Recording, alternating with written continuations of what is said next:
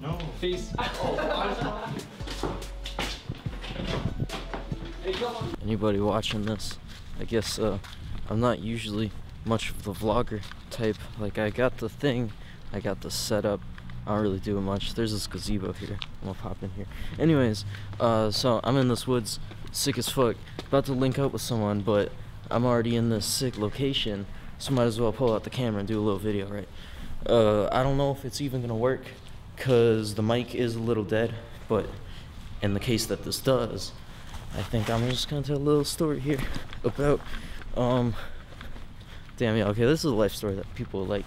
Uh, I haven't even been posting them because I've been undecisive on the ones that I pick to choose to tell as life stories. But you know, fuck it, I should just you know go for it. Also, this camera's ridiculously heavy. Almost, I'm already out of breath. I should definitely exercise more. So this story is about the one where somebody totally ripped me off for shrooms, which is hilarious because I guess there's people that I don't know, they think of me as like weed tuber, like I still get ripped off on stuff like this. And this was total bullshit because we were like totally friends too. Like we spent a lot of time together. I smoked them up like a fuck ton of times. So it was kind of like disappointing. And uh basically one time we're over at his friend at this guy's house and he was like kind of a fuck boy. He showed us like his dad's guns, you know, like that kind of kid. And then um along with that, he's like, yo, I found some shrooms. I'm like, okay, I've never actually tried them before. And I should have already had my red flag set off like, this is not the dude that you want to be having as the plug for psychedelics. But um, I was like, yeah, you know, seems legit. I'll just go for it. He asked for 60 bucks, gave me this giant fucking bag. And then I should have known from this point, again, that it was totally a scam because they were fucking they were wet. They weren't even dried out like at all. So that's one thing to keep in mind like if you're getting shrooms make sure they're dried out because that's how they're sold. They're not sold as a giant big ass bag of wet ass kitchen like shiitake mushrooms which is basically what he sold me. I found out later. And uh, how i found out was i go home eat a fuck ton of them super excited i even made an instagram post and everything and then um nothing happened.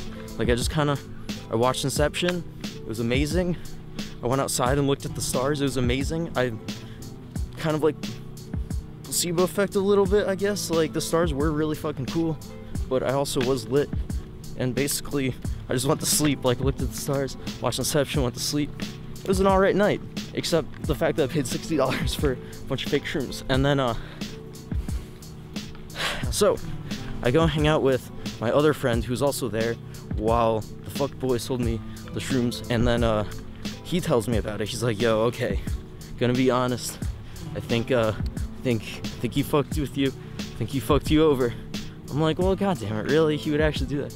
So i go over to his house i'm like yo i need my money he's like oh sorry i don't have the money anymore i bought a motorcycle and i don't have any money I'm like, what the fuck? And then later on, we asked him again. He's like, oh yeah, I quit my job, so I can't ever make any more money again to pay you off. So then he came up with a compromise. I'm like, all right, fuck, what's what's your compromise? And uh, essentially, he wanted to give me this old ass laptop. So I'm like, fine, I don't even want it, but like literally just because you owe me something, I'm gonna take something from you.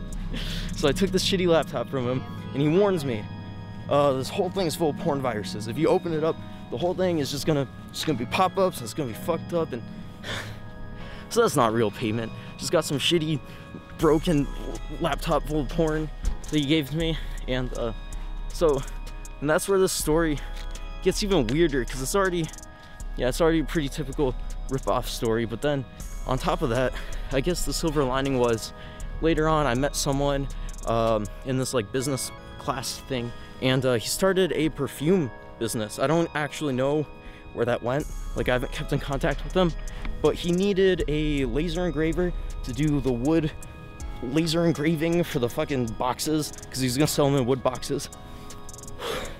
And uh, he already got the laser engraver guy set up. He already had all of that set up. He just needed a laptop to control the laser engraver. And uh, it just happened to be that I got ripped off in all this shrooms and stuff right before meeting that guy. So then when I met that guy, I was like, oh shit, yeah, just take my laptop full of porn viruses. And he's like, what? I'm like, don't ask about it, you know? He's like, all right, not gonna, free laptop. So, yeah, I'm out of breath because, like I said, what I said, and also backpacks and stuff is heavy. But I think that was pretty lit. I'm glad that I got that done because I'm just kind of like wandering around out here. Gonna go link up with someone and glad that I got this in between there. Maybe I can hit upload on it soon. But I hope you enjoyed watching this. It's not a life story. Holy fuck, that was really sweet. I should probably do more of that. And uh, yeah, that just, that was not that long ago. That was like just now. Like, so, peace out.